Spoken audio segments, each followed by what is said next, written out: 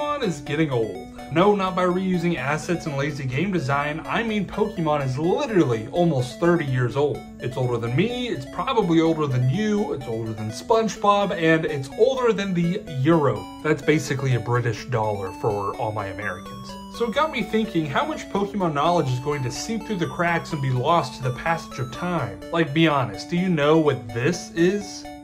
No, probably not. And so I want to make it my mission to present and preserve Pokemon knowledge and trivia from the first 151 all the way up to whatever the latest release might be, even if it is another Gen 1 remake. From glitches and bugs to culture and rumor, we'll catch them all in the Pokemon Time Capsules. So if that sounds interesting, be sure to subscribe and follow along this journey. And I figured today we'd start off with some topics near and dear to my heart. Stop me if you've seen this before. No, it's not just a group of random pixels. Well, I mean it is, but it isn't, but you get what I'm saying. It's the infamous Gen 1 glitch, MissingNo. First documented in the May 1999 issue of Nintendo Power, this glitch could be found by talking to the drunk man in Viridian City watch his catching tutorial for the millionth time, then immediately flying to Cinnabar Island and surfing its shore. If done correctly, you'd be met with the now famous glitch, MissingNo. Other than potentially corrupting your save data, MissingNo did have the pretty useful power of duplicating items. You'd have to follow an even more tedious process that involved having an item in your 6 bag slot, but not more or less because it would break your game.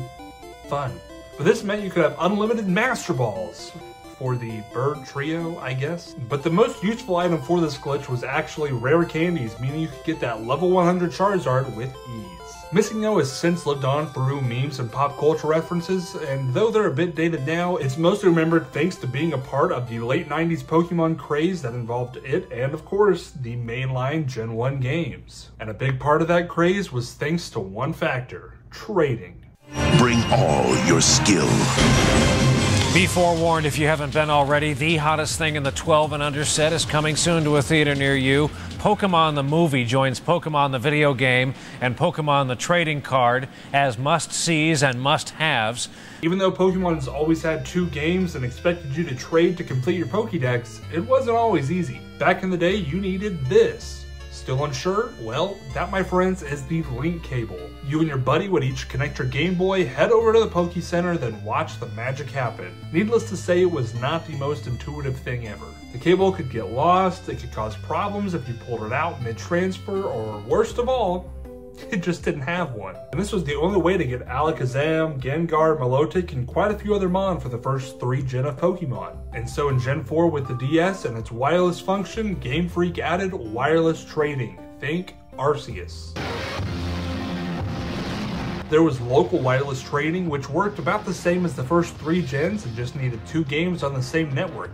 Here you could enter private or public wireless rooms and trade or even battle with people on the same network. And that was cool and all, but the real star of the show was the GTS, baby. Here you could deposit a Pokemon and request a specific one in return, and anyone from all across the world could see that and accept that trade. And then the next time you got on, you could check and see maybe someone actually did want to trade their Dialga for my Bidoof. It Didn't happen often, but I mean, it did happen. Now trading has been streamlined and you just need the other player's ID and you can trade from anywhere in the game. You don't even have to go to the Pokemon Center. But enough of my rambling. Thank you guys so much for watching to the end. I hope you enjoyed, and if you did, again, why not leave a follow while you're here and let me know what you'd like to see covered in the Pokemon Time Capsule for next time. But once again, thank you guys for watching, and I'll see you next time.